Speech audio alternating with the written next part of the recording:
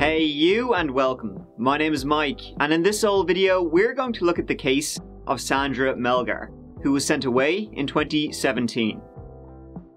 This story takes us to Houston, where Sandra Melgar was married to Jim Melgar for 32 years. And when celebrating their 32nd wedding anniversary, they went out for dinner, had a nice lovely time, came home, and Sandra can't remember much after that. She woke up the next day tied up and locked in her closet, and Jim, her husband, was. Well, but was this a bizarre cover up, a staged scene? Or is Sandra truly innocent as many believe her to be? This case, it's absolutely fascinating. I mean, there are many things in it which could lead you to believe one thing or the other. So, let's get into it.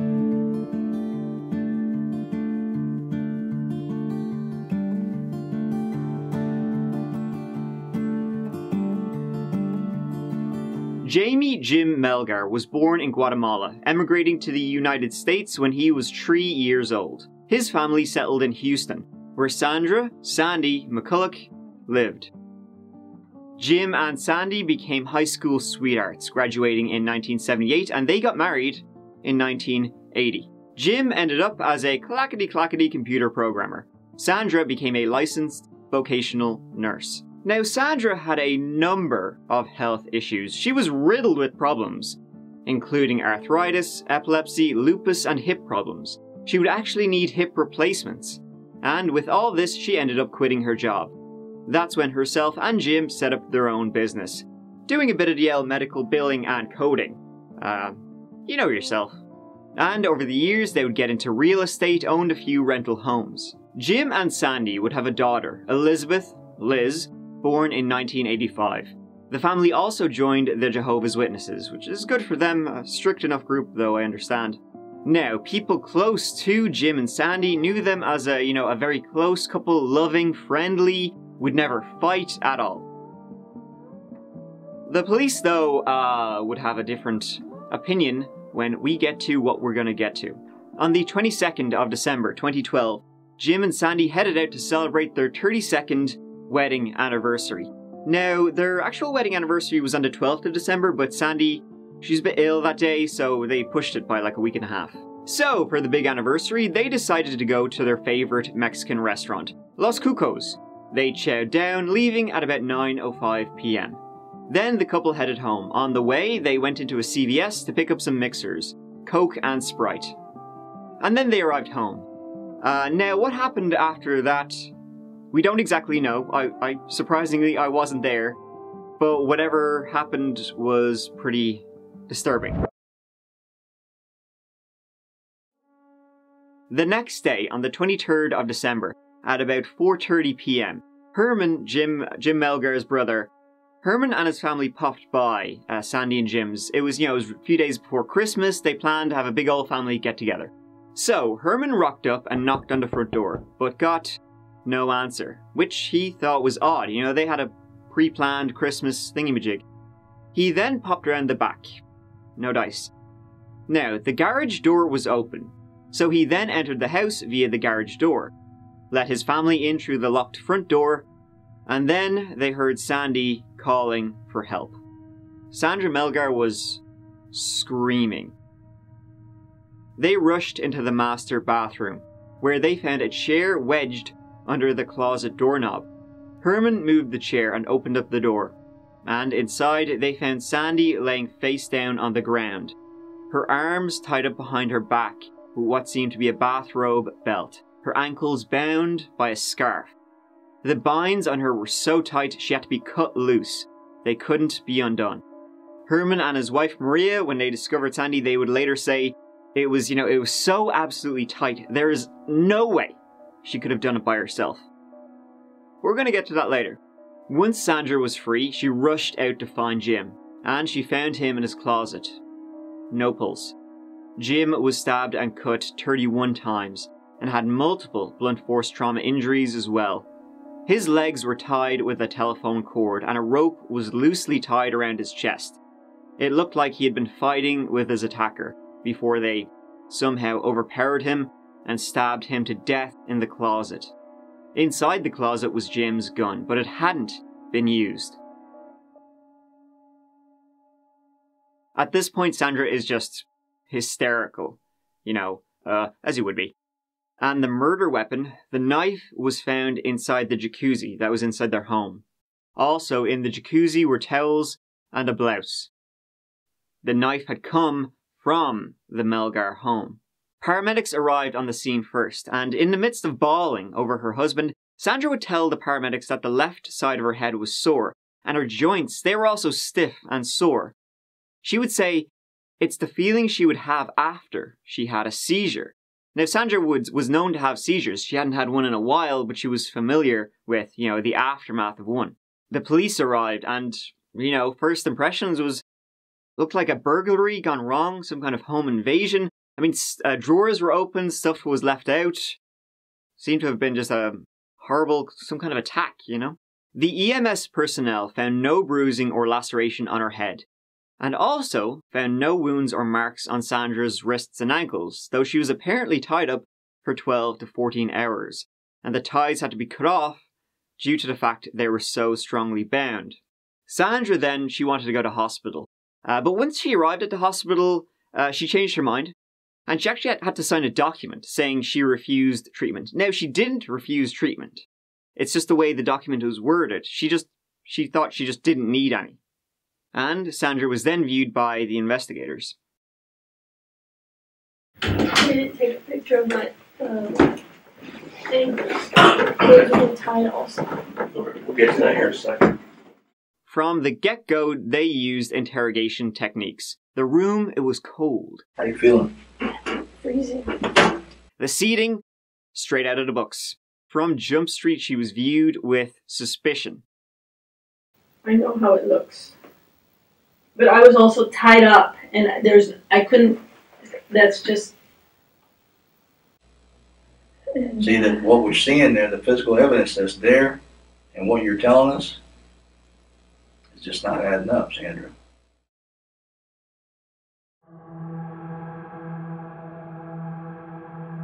Sandra then told them what happened the night before. Or what she remembers, at least. Sandra told them that a car was tailgating them after leaving CVS, but then when they were getting close to home, they turned right and the other car turned left.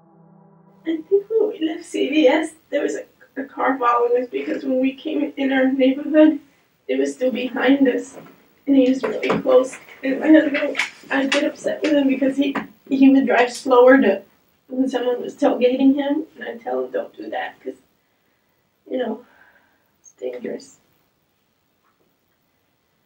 So um.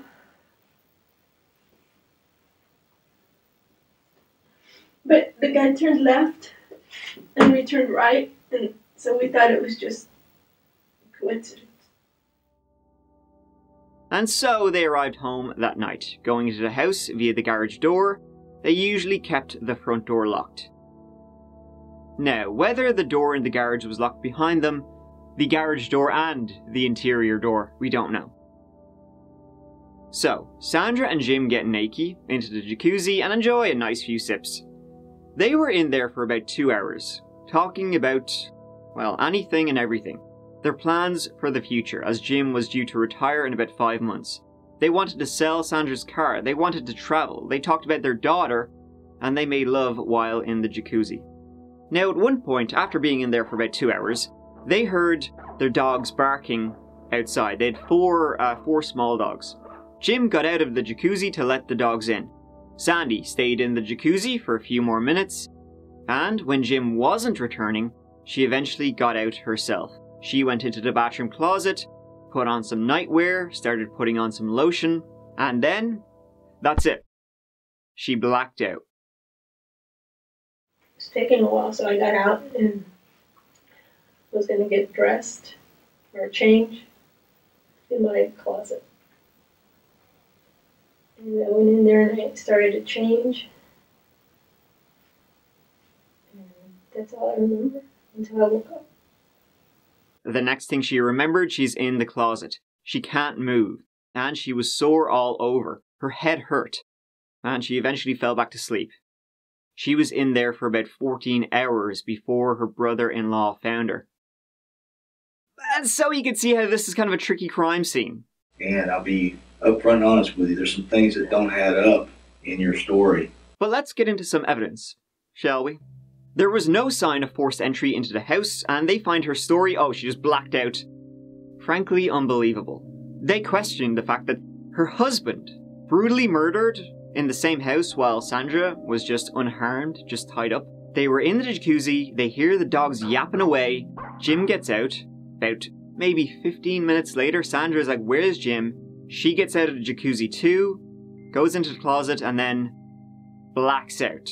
So somebody killed Jim. Sandra didn't hear anything, and then they somehow snuck up on her too and like whacked her in the back of the head. No, you didn't hear nobody screaming, and you could hear dogs barking outside, but you can't hear Yeah, somebody screaming floor. inside. No, You know how close that that room is to where you were, no. and you can't I hear somebody hear screaming.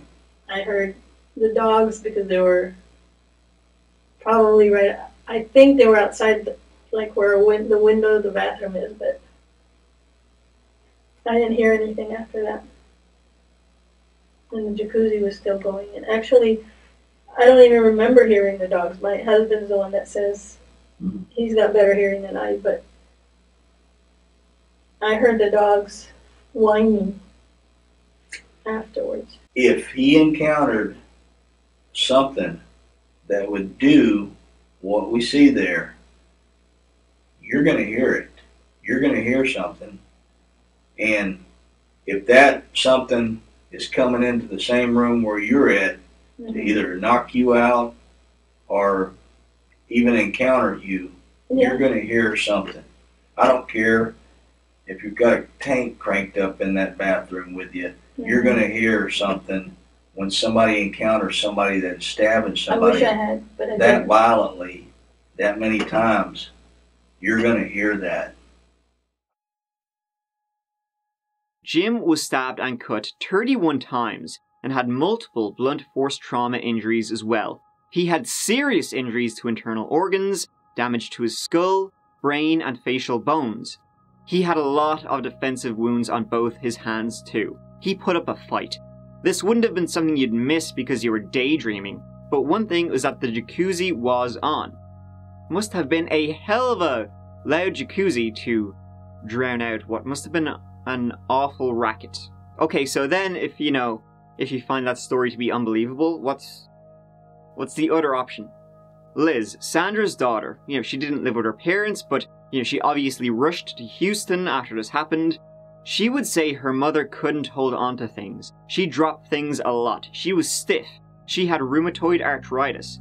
At one point in her life, she was confined to a wheelchair. Sandra could only have done what happened to Jim with great difficulty.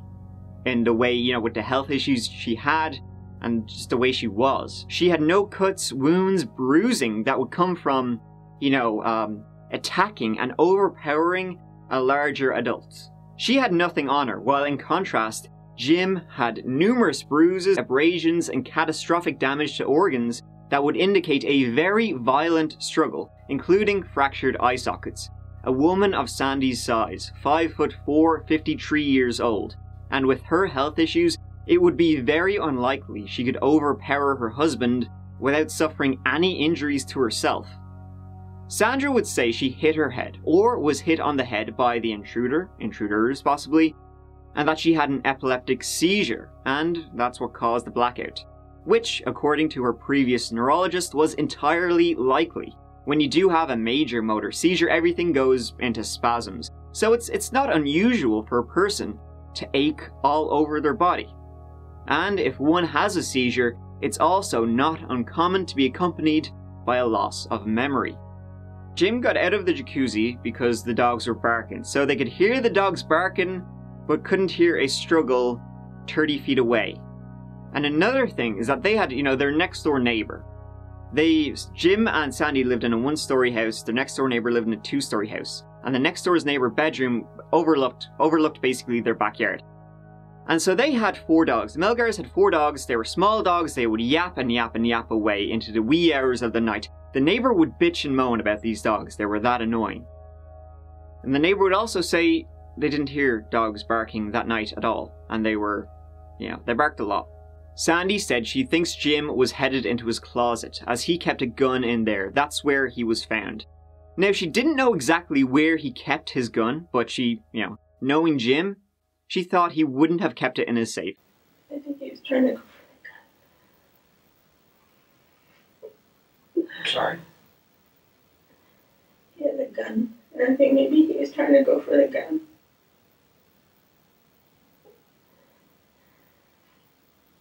Where does he keep the gun? In the closet. What kind of gun? It's just a Beretta. Pistol? Do you know where he keeps it in that closet? No. I wanted him to keep it in the safe, but. But he's too stubborn. So, if he was going into his closet to get the gun, you know, did he not have time to use it? Or what if he he did have time to use it, he just didn't want to use it on whoever was attacking him? It's a possibility.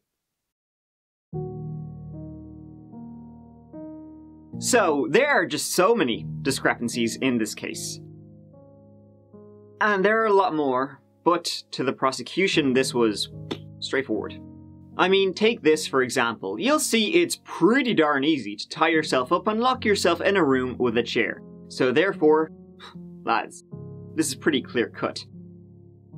Well, I'm convinced. She killed her husband and made it look like a burglary and then tied herself up exactly as you see there. Well, that's what the two detectives investigating they came to that conclusion pretty quickly and then they essentially just worked backwards from there. They would marshal all evidence around that theory that Sandra was responsible and it was a staged scene. One of the things which led to this conclusion was Sandra's refusal to take a polygraph, saying at the time she was too nervous, she was shaking, she was cold, and she didn't want it used against her. What's your What's your explanation though? What's your excuse for not taking one? It's not holding water, Sandra. I'm just going to be honest with you. It's not. You know, I'm I'm not. Uh, I'm just being upfront and honest with you, and that's what I'm. That's my job to do that. I just don't want to take it and then it's used against me. That's not Because- possible. Yeah, it is. it is. Which is fair. They asked her to take this polygraph, you know, not long after the event happened. You know, she would have been shocked, she would have been, you know, this and that. But hey, only guilty people refuse to take a polygraph. Right? What do you think should happen to the person that if we catch that did this to your husband? What what do you think his punishment or her punishment should be? Do you think they should get a second chance? No. What do you think should happen to him or her? They should go to prison. Isn't that what they normally do? They go to prison.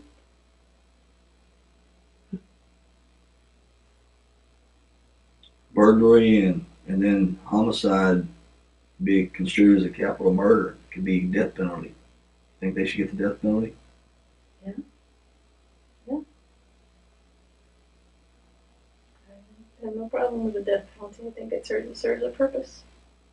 Did you stage that at your house, ma'am? Stage it? Yeah. Did you did you plan this?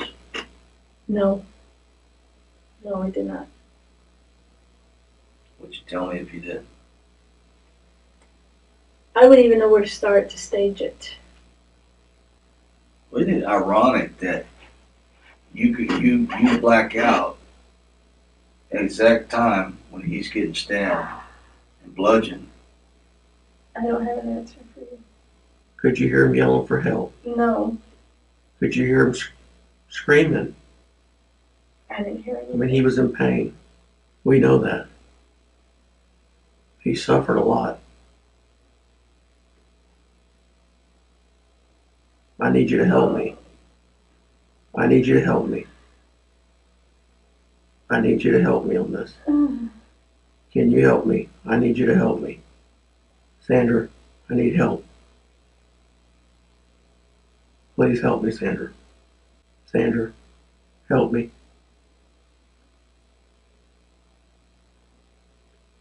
Sandra, I need help. I I didn't need hear anything. Just stop already. I need help, Sandra. I need help. Help me. That's it. That's it. I, I, I need a lawyer. I, I'm not talking anymore because you guys are just trying to torture me here. The investigators actually wanted to charge her with the murder right there and then, but the district attorney refused, citing lack of evidence. It would be a year and a half later that they would go ahead, during the summer of 2014, that murder charges were filed against Sandra Melgar. Well, what a development here. A woman who once claimed to be the victim of a home invasion that ended up killing her husband is now charged with his murder. You may remember this story. Christmas Eve of 2012, Sandra Melgar claimed somebody broke into her Northwest Harris County home, tied her up in the closet, and murdered her husband. Well, now authorities say that was all an elaborate Miss lie. Melgar says that uh, they were in the bathroom together, uh, her and her husband, at approximately uh, 1 a.m. this morning, and at some time she blacked out, and next thing she remembers is waking up in the closet tied up. Sandra Melgar told police she and her husband Jaime were attacked inside their home. Her husband fatally stabbed, she tied up for 12 hours. you know, it just seemed like something was really strange with how it all came down, with with uh, them being tied up and just one person being killed. A year and a half later, 54 year old Sandra Melgar is charged with her husband's murder. Court documents revealing he was stabbed with a knife. We were wondering. I mean, it was so weird that uh, what happened and how it happened. Nothing was didn't seem like we heard anything like any, been, anything had been stolen or anything like that. Now, curious neighbors want to know what information led investigators to charge Mrs. Melgar and why it took so long. They have, after all, been unnerved for over a year, thinking a home invasion on their street was the work of ruthless thieves. It's a relief to know that it's not a random, you know, it's not a home invasion. The case finally went to trial in 2017.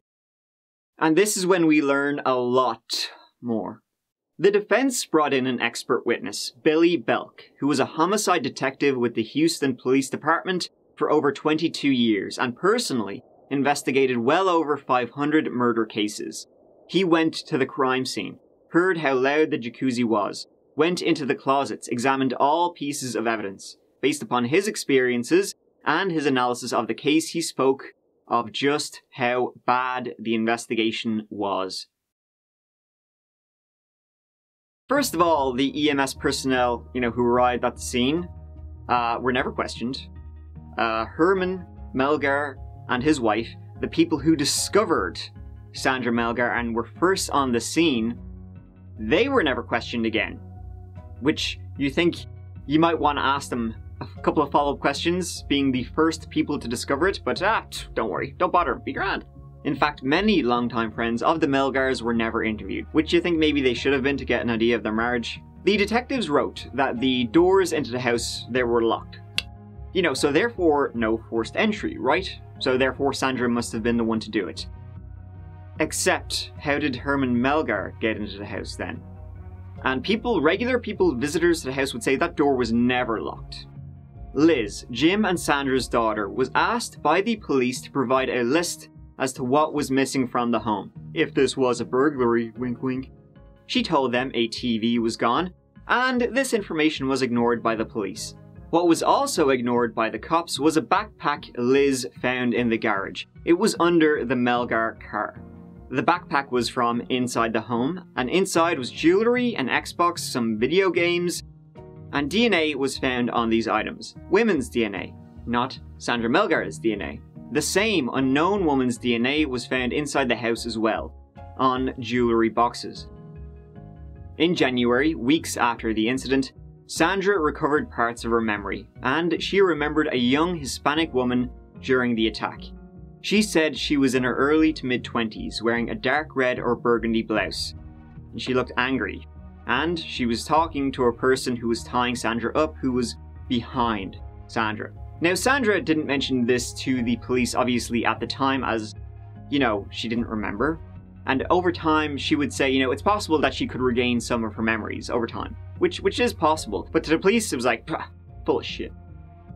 In the closet where Jim was found, there was a safe. The handle of that safe was all bloody. That handle of the safe was never processed by the crime scene investigators. Because when they were asked, you know, maybe you should have a look at it, do some forensic bullshit, they were like, ah, no, sure, it would have been Sandra's. Would have been Sandra Melgar's, you know, DNA and fingerprints we would have found in it. So we never bothered. Never bothered to look at it. You know, case closed already. The police also found an unknown man's DNA on the scarf that was used to tie Sandra up. They also found it on the door handles in the master bedroom, backpack in the garage, and on just general doorknobs around the house. That DNA did not fit anyone in the Melgar family, but to the police, ah, don't worry about it. Not long after the incident happened, a local news station was reporting on the case, and a reporter told police that they saw a suspicious person at the crime scene outside the Melgar home, whose name was Chad Ryan Sullivan. When asked, he told the news reporter he lived, you know, in the local area, hence why he was there, just rubbernecking. The reporter said he was acting strange. Upon checking him in the police system, it turned out he was a thief and had a history of assault and who was also just out of jail on bond two days prior to Jim's death. At one point, you know, the lead investigator paid this Chad a visit. You know, gotta be seen to be, you know, at least entertaining all possibilities. Twice in the same day, at 2 pm and 4 pm to be exact, they popped by his home and got no answer from him. They then left their business card to be contacted by Chad Sullivan, and that was the last time they ever bothered to try contacting him. So yeah, that's a lot of information there. You know, on one hand, you have an investigation that seems like tunnel vision. There's a lot of things here which would point to Sandra being innocent. I mean, basically, on the other hand, you have Sandra not even being capable of doing what happened. Okay, so then what about the primary thing in, you know, most murder cases, motive? What was the motive? Why would Sandra do this if she was even capable of doing it? Which I don't think she was. Sandra had some bruising on her upper arm. During the interrogation, the detectives said it looked like wraparound bruising. And that's when the detectives told Sandra that, in their opinion, there are two types of murderers. One that would just kill you on the street in cold blood, and two, the one who is being pushed into murder by being triggered, like through an argument. We work hundreds and hundreds of murders. Mm-hmm. Okay? And Sometimes we we work cold blooded killers mm-hmm. that just on the street that would just kill somebody for nothing. Okay. Then sometimes we work murders that they're in an argument and something happens. Mm-hmm. Okay. There's two different types of people. You understand? Because if you argue with somebody and you lose it, your temper and an argument That's happens. That's not what happened. That's not what happened. And I think I'm gonna stop talking now because I think I'm gonna need a lawyer because I know how this works. I was the only one in the house, so of course.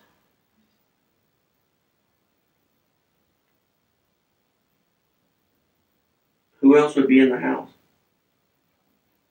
No one would, would that I know of. No one.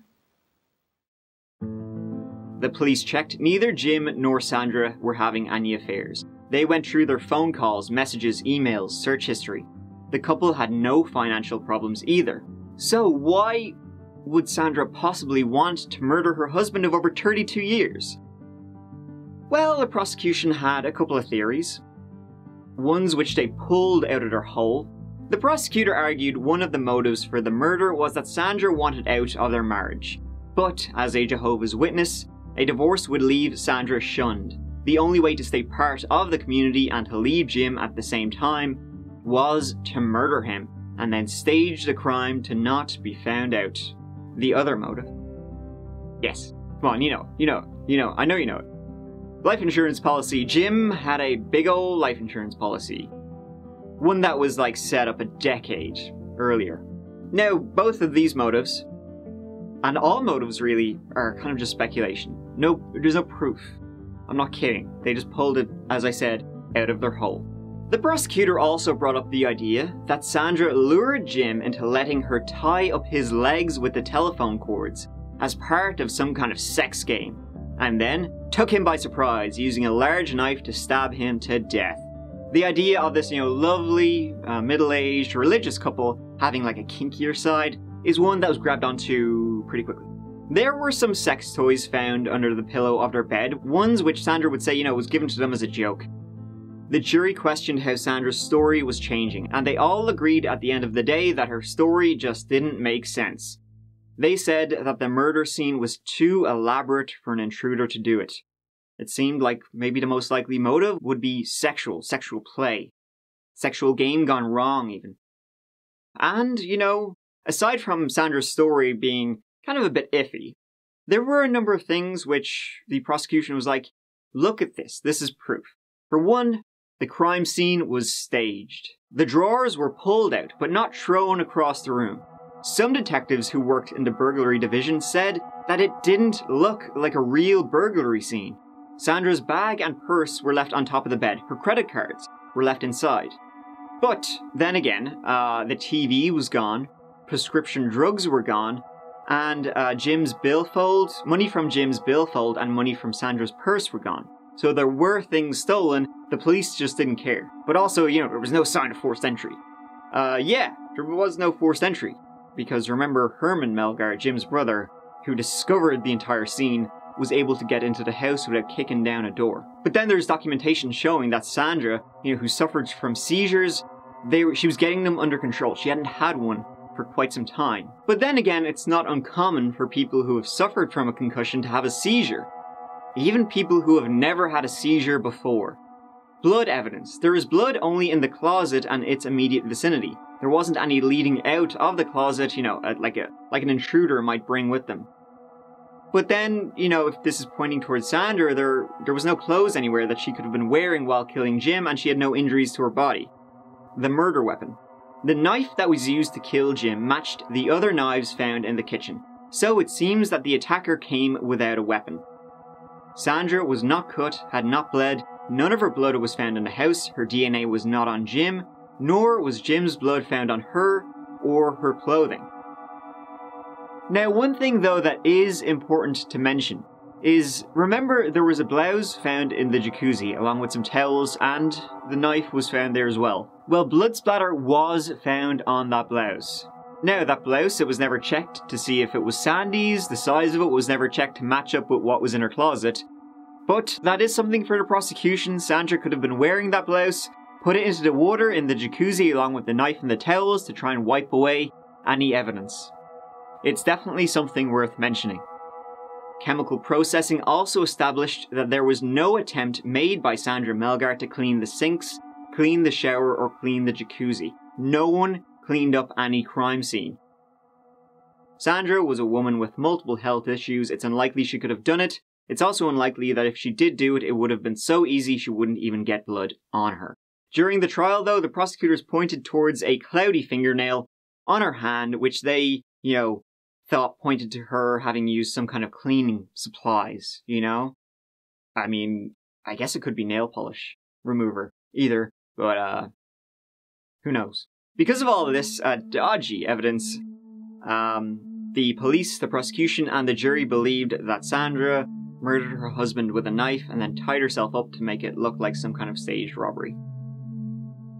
In August 2017, Sandra Melgar was found guilty, and she was sentenced to 27 years in prison. Her projected release date is 2044. The assistant district attorney said of the judge's ruling Sandra Melgar hacked the life out of her husband Jaime, and for that she will spend the balance of her life on a cell block. She showed no remorse. The sentence is just.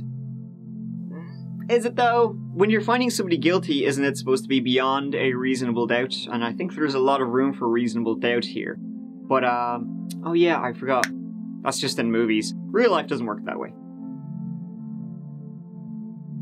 In late 2018, famed attorney Kathleen Zellner took on the Sandra Melgar case. You might remember her from such cases as Steven Avery or even Ryan Ferguson, which we talked about not so long ago. In 2019, the Truth and Justice podcast, which had done a series on this case, announced a $20,000 award for the real killer of Jaime Jim Melgar, who could still be out there. I think is probably more than likely out there. Sandra Melgar recently appealed, though this was denied. Her family and friends, including her daughter, say they will continue to fight for her innocence. They got it wrong. They, uh, they got it completely wrong. You say you blacked out at the moment your husband was being murdered. I, I but people watching might think that sounds so convenient. Yeah, it, it's not a blackout. I have seizures, seizures, and uh, I had a lump on my head, so I was hit, and then I went into a seizure. More than likely. I mean, no one was there to actually see it, but that's how it felt like when I woke up. Sandra, did you kill your husband? No, I did not kill my husband. No. Fascinating case. A bizarre one, you know, in which, um, on one hand, you have somebody entering their home and murdering Jim while Sandra didn't hear anything, and then, um, and then, you know, uh, knocking her out and tying her up.